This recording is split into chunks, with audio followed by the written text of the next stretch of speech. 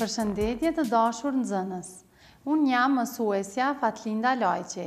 Së bashku, nga lënda Edukatë Qytetare, do të mësojmë njësinë Komunikimi. Pra hapni librin bazë, faqe njëqind e pesëdhjetë, njëqind e pesëdhjetë e një.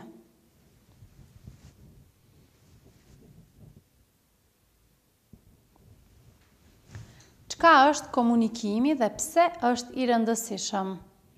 Komunikimi është aftësia për të ndarë informacion me njerëz dhe për të kuptuar se çfarë informacioni dhe ndjenjash janë duke u përcjellë nga ne ose nga të tjerët. Komunikimi paraqet në vete shumë forma dhe secila nga këto forma është art në vete. A do të kishte, nxënës të dashur, kuptim shoqëria njerëzore pa komunikim? Pra, do të ishte e pakuptimtë që shoqëria njerëzore të mendohej pa komunikim.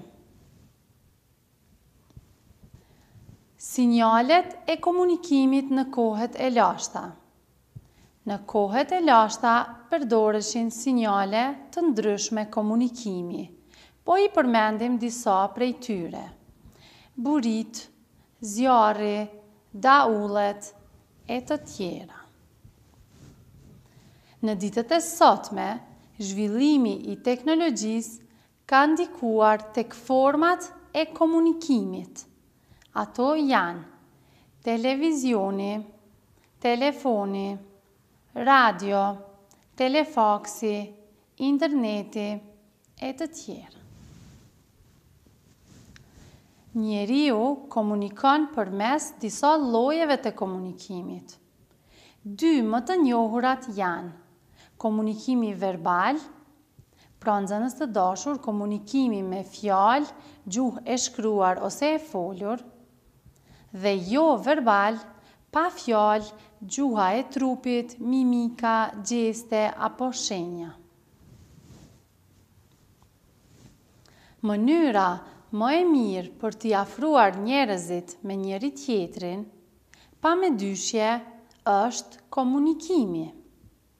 Prandaj, të jemi afër me të tjerët, është kënaqësi dhe njëkohësisht e ndiejmë veten më të sigurt.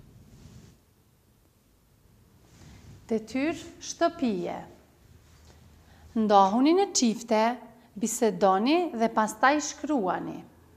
Sa e përdorni ju komunikimin për të zgjidhur ndonjë problem me shokët? Faleminderit për vëmendje,